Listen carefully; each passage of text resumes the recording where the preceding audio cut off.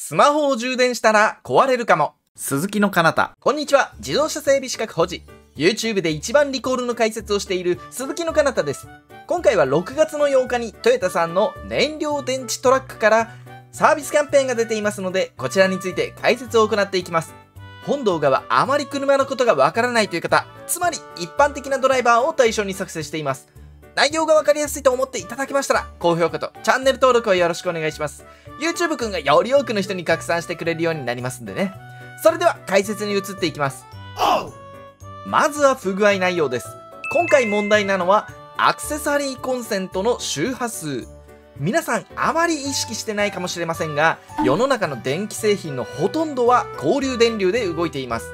発電の仕組みの関係でどうしても直流ではなく交流になってしまうんですね。交流電流の場合、イメージ的には電気が行ったり来たりしているんですが、1秒間に何回行き来したかを表すのが周波数。日本の場合、これが東日本だと 50Hz、西日本だと 60Hz になっています。車についているシガーソケットや USB の充電ソケットにもこれと同じ周波数の電源が使われていて、このおかげで日本の電気製品を車の中で使うことができます。ところが今回、この周波数の設定が間違っていて、説明書に書いてある内容と異なるとのこと。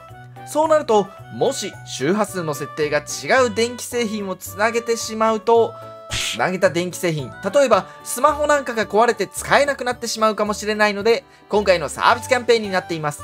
改善内容は、この周波数の切り替え回路を正しい状態につなげ直しですね。